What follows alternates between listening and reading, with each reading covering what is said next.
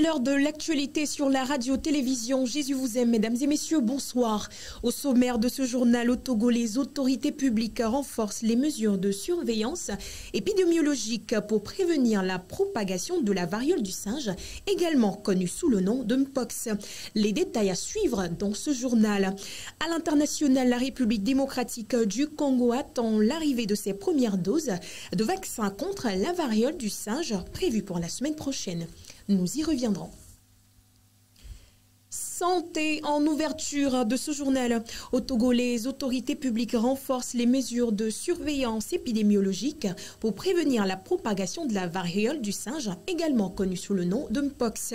Le renforcement de ces mesures intervient dans un contexte où la maladie a été déclarée urgence de santé publique de portée continentale et internationale par le CDC Afrique, Centers for Disease Control et l'Organisation mondiale de la santé OMS en raison d'une flambée dans plusieurs pays africains, bien au-delà de la République démocratique du Congo, foyer endémique typique de la maladie virale. Le ministère en charge de la santé au Togo a incité la population à prendre des mesures, à adopter des comportements préventifs tels le lavage régulier des mains, la protection du nez et de la bouche en cas d'éternuement ou de tout et l'évitement de tout contact avec les liquide biologique des personnes suspectes.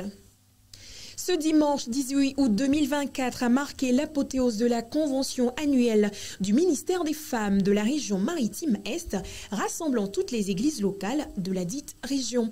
Madame Pasteur Koumaï a interpellé les fidèles chrétiens en général et les femmes en particulier à revoir leur vie dans un monde vicieux. Reportage.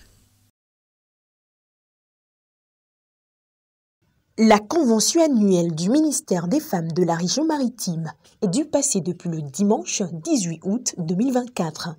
Elle a été une célébration émouvante et riche en transformations, dévoilant la noblesse et la grandeur qui doivent caractériser les femmes de la communauté des églises des assemblées de Dieu. Le thème inspirant de cette édition Où as-tu gardé ta robe de noces? résonnait dans les oreilles de tous les participants. Ce thème vient interpeller tous les chrétiens revoir leur vie dans ce monde pervers où il y a la dépravation, où il y a et, toutes sortes de dérivations. On ne comprend plus qui est chrétien, qui est païen. Il semble que le chrétien a oublié qu'il est étranger sur la terre et que le ciel l'attend. Nous avons développé ce thème pour dire que le ciel, ce n'est pas les œuvres qui vont nous accompagner, mais c'est la vie de sainteté qui va nous accompagner. Où as-tu gardé ta robe de noces? Ne parle pas du vêtement, mais parle de notre vie, de notre comportement.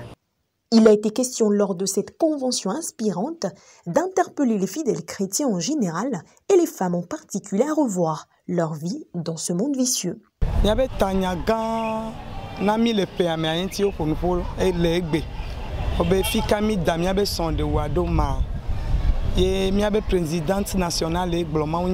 Na miegbe.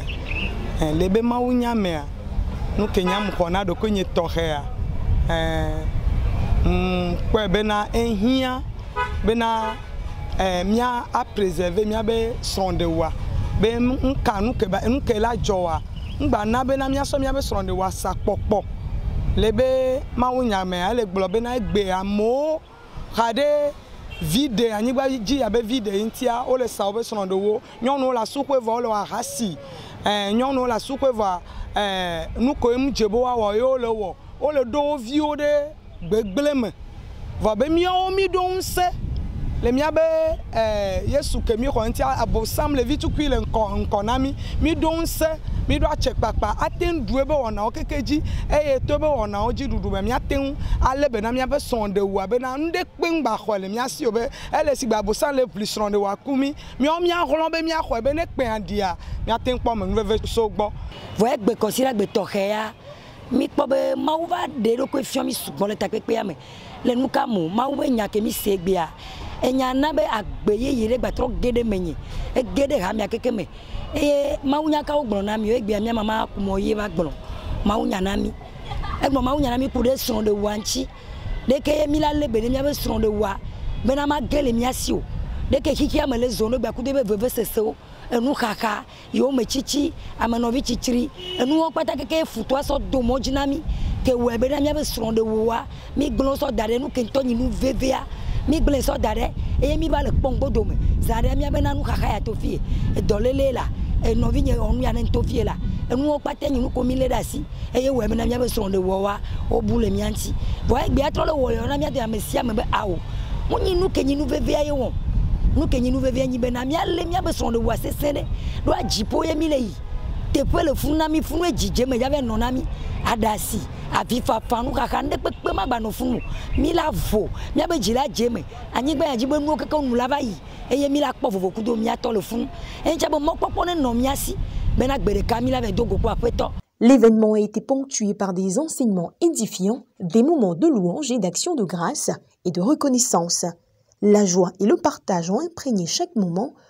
de cette convention, créant donc des souvenirs inoubliables.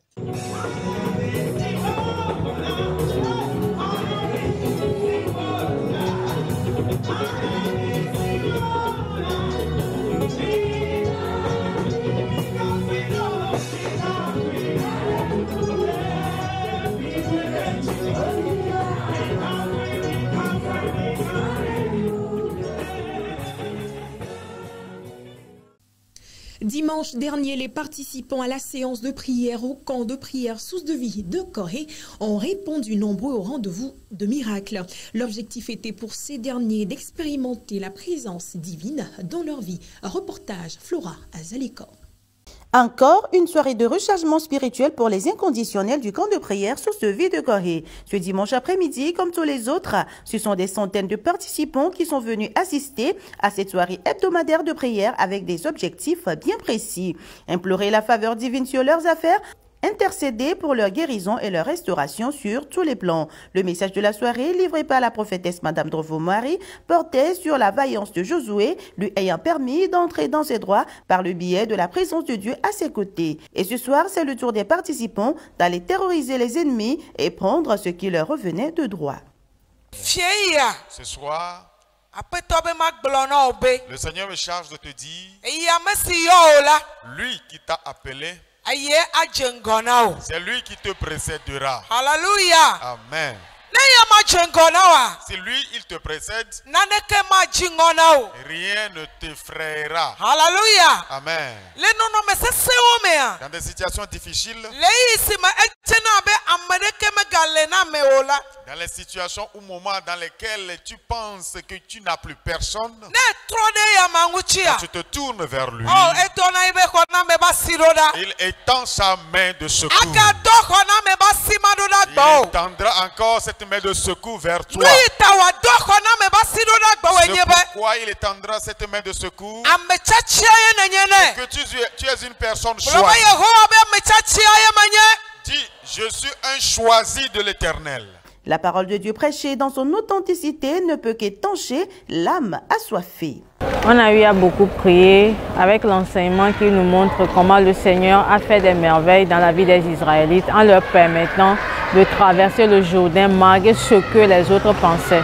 Donc par là, le Seigneur nous dit encore qu'il est prêt à ôter de notre chemin tout Jourdain, toute entrave qui nous empêche d'accéder à notre terre promise.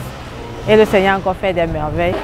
tameɖoɖo ɖe ŋuti mu va ɖo et par rapport na enyako no to tsã ça m'a vraiment touché.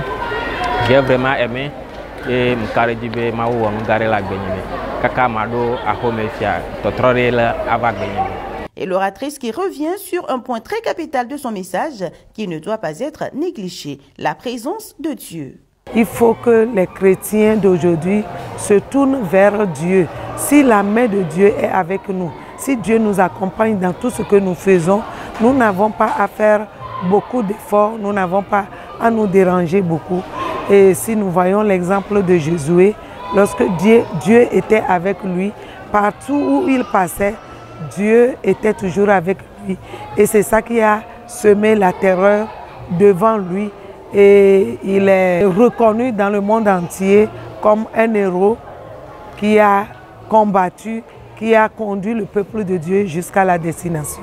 Le responsable du camp, l'évangéliste Adjalité Armand, ayant passé le flambeau à sa collaboratrice pour le message de la soirée, a tenu à convier les participants à prendre part au programme de cette nuit de prière et qui a démarré le lundi 19 et qui prend fin le dimanche 25 août prochain.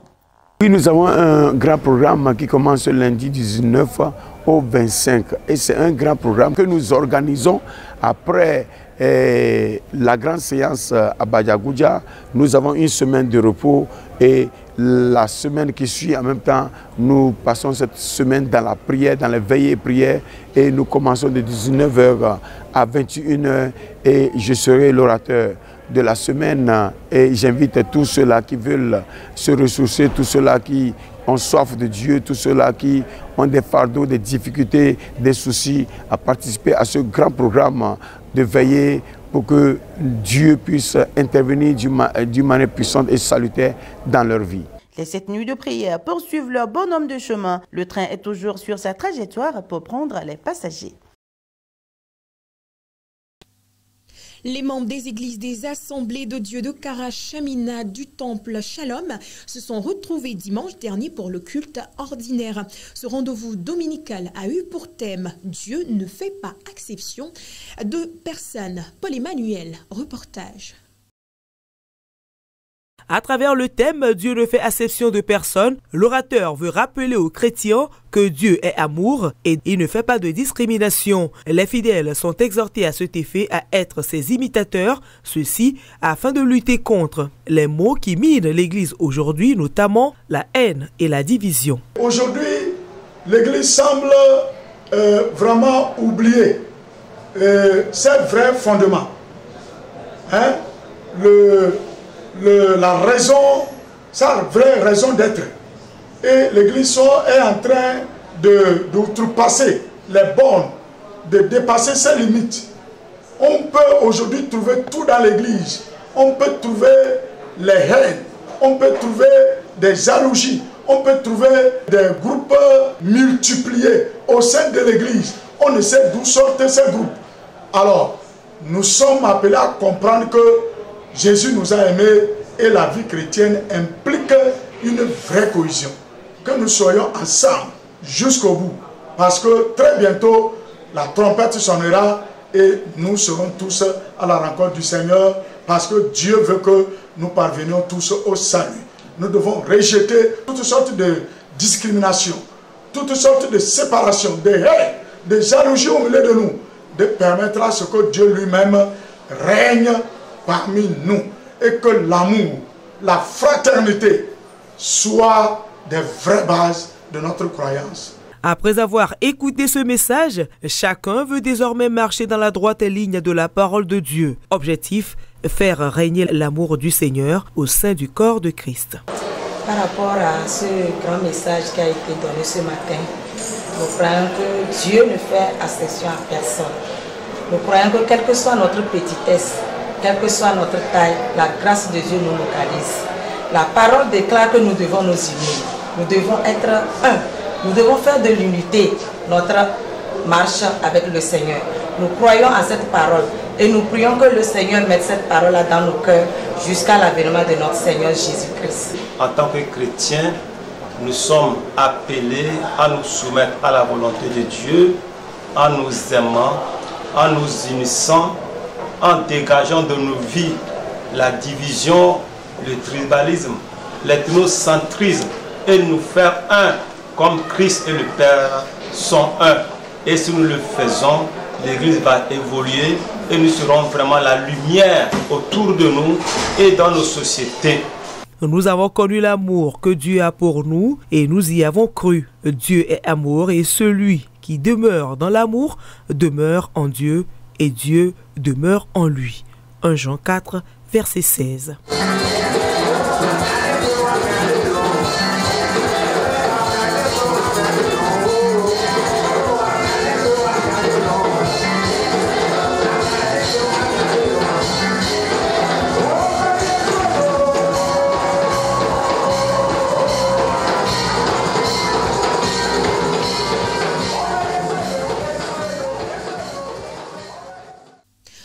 De nos frontières, l'actualité nous conduit en République démocratique du Congo. Au moins 20 cadavres ont été retrouvés lors des recherches ce mardi suite à un accident de bateau survenu ce week-end sur la rivière Lukeni dans l'ouest du pays, a déclaré l'administrateur du territoire de Kuchu, Jack Nzinza Mogi, lors d'une conférence de presse à l'Associated Presse.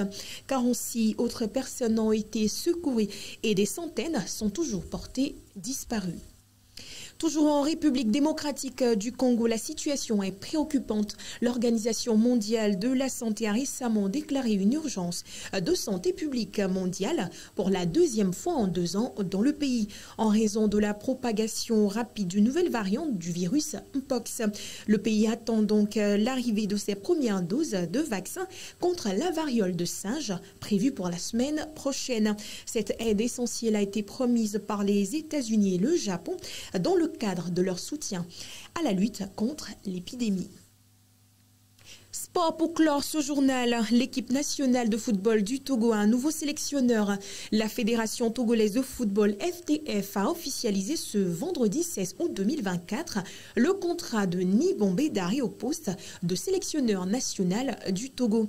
L'ancien défenseur central des éperviers prend ainsi les rênes de l'équipe nationale togolaise. Il a été choisi à l'issue d'un rigoureux processus opéré par l'instance fêtière qui a lancé après consultation avec le ministère des Sports, un appel restreint à candidature réservé aux nationaux. Il succède ainsi à Paolo Duarte qui avait activé sa clause de départ il y a quelques semaines.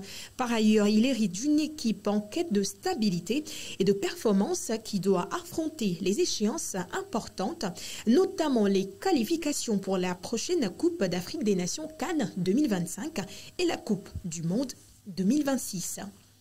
Voici qui marque la fin de cette édition. Merci de l'avoir suivi.